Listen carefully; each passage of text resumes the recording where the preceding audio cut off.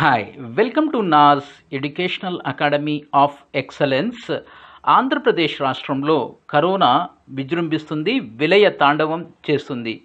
ఈరోజు మరో స్కూలు విద్యాసంస్థ ఈ కరోనా కాటుకి బలయ్యింది ఇది మన ఉత్తరాంధ్రలో ఉన్నటువంటి అంటే నార్త్ ఆంధ్రప్రదేశ్లో ఉన్నటువంటి విజయనగరం జిల్లాలోని ప్రభుత్వ పాఠశాలలో ప్రభుత్వ పాఠశాలలో కరోనా కేసులు బయలుపడ్డాయి. అయితే ఇది నాలుగో కేసుగా మనం చూడవచ్చు. నాలుగో కేసుగా చూడవచ్చు. విజయనగరం జిల్లాలో బొబ్బిలి పట్టణంలో ఒక ప్రభుత్వ హై స్కూల్లో పది మంది విద్యార్థులకు కరోనా సోకింది. అంటే ఇది కేవలం పది మంది కాదు మొత్తానికి నూట అరవై మందికి సస్పెక్ట్ చేస్తున్నారు. అంటే కరోనా సోకింది అని అనుమానిస్తున్నారు. అయితే కేవలం పది మంది యొక్క రిజల్ట్ వచ్చాయి.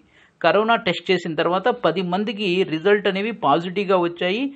మిగిలినటువంటి విద్యార్థుల యొక్క రిపోర్ట్స్ అనేవి రావలసి ఉంది. అయితే ఈ స్కూల్లో మొత్తం స్ట్రెంత్ వచ్చేసి నూట అరవై మంది ఉన్నారు. అలాగే నూట అరవై మందితో పాటుగా పద్దెనిమిది మంది non teachers and non teaching staff అయితే ఉన్నారు. ఈ మొత్తంలో ప్రస్తుతానికి పది కేసులు అయితే బయటపడ్డాయి. ఇంకా మిగిలినటువంటి విద్యార్థులు అలాగే సిబ్బంది యొక్క ఈ కేసుల యొక్క రిపోర్ట్ అనేది రావలసి ఉంది. ఖచ్చితంగా ఈ నెంబర్ అనేది కనీసంలో కనీసం ఇరవై వరకు చేరుతుందని అంచనా వేస్తున్నారు. రాష్ట్రంలో ఆగస్టు పదహారు నుంచి విద్యా సంస్థలు రీఓపెన్ చేసినప్పటి నుంచి రోజుకు ఒక కే రోజు ఒక ప్రాంతంలో ఒక స్కూల్ కరోనా బారిన పడుతుంది.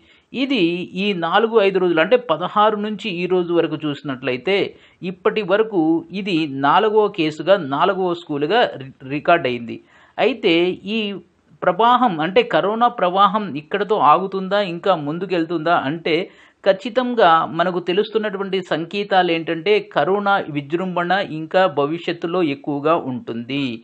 ఈ రోజు రోజుకి స్కూల్స్లో ముఖ్యంగా విద్యా సంస్థల్లో ఈ విధంగా విద్యార్థులకు కరోనా సోకటం వలన విద్యార్థుల తల్లిదండ్రులు ముఖ్యంగా వాళ్ళ యొక్క తల్లిదండ్రులు తమ పిల్లల్ని స్కూల్కి పంపించడానికి చాలా జంకుతున్నారు చాలా భయపడుతున్నారు.